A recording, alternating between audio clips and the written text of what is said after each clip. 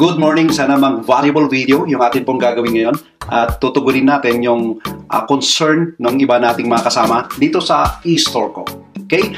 Ang concern na yon ay saan ipapadala yung image or yung litrato na ipapa-made to order mo. Okay, excited ba kayo? Saan po natin ipapadala or nasaan sa ating pong uh, dashboard, saan yung features na yon? Actually, nandyan lang siya. Okay? So, tuturo ko po sa inyo So, pag nandito ka na sa dashboard ng e-store ko, after, i-type mo lang po ah, para makapunta ka dito, i-type mo lang yung estoreco.com. Then, lalabas na po siya. So, click natin yung sign in sa upper, right. Then, put your email.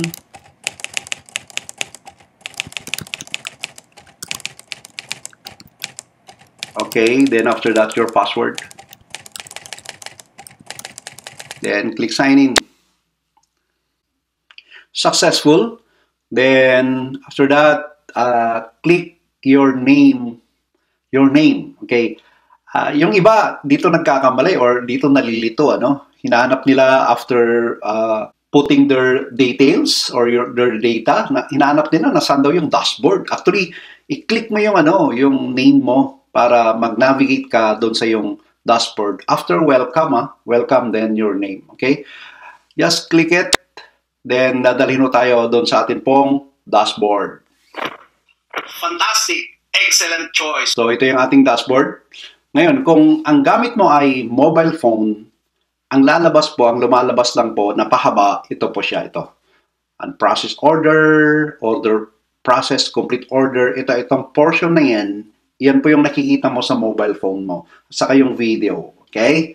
So, ang kailangan mo, pumunta ka dito sa menu na ito. So, sa, paano mo ipapalabas dito yung menu na yan sa iyong mobile phone? Hanapin mo yung hamburger button icon. Yung tatlong line na ganon. Okay? Yung icon na yon, yun ang i-click mo. Once na click mo yon, ito yung lalabas. Okay?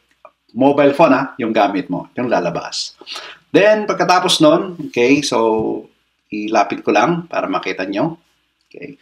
Hanapin mo yung rope. Sa rope na to, click, tapos bababa, may lalabas na down, drop down menu.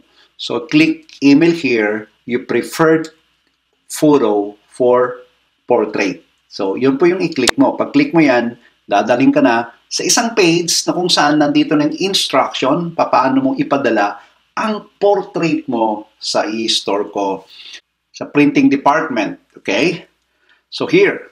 So, nandito na. Ito, actually, ito yung email na, na gagamitin mo kung saan mo ipapadala here, this email. Then, don't forget, okay, lagay mo yung name mo, reference number mo. Yung reference number, yung uh, nung nagbayad ka sa sa uh, sa DragonPay, then yung mobile number mo. Kailangan yung mobile number kasi kung minsan yung marketing professional natin, yung aalalay sa inyo, papaano po ipagawa yung yung portrait nyo. Kung minsan may tanong sila, lalong-lalo na yung yung dimension ng inyong ano, yung photo or o kaya yung pixel kasi importante yung pixel eh.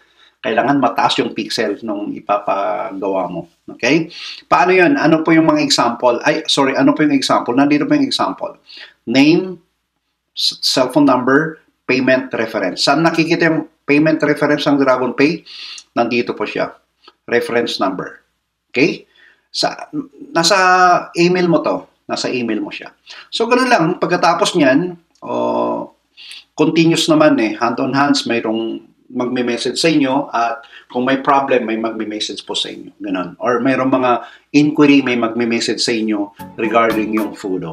Okay? So, ganun lang kadali, di ba? Sobrang dali lang yung paano mag-send ng emails. Okay?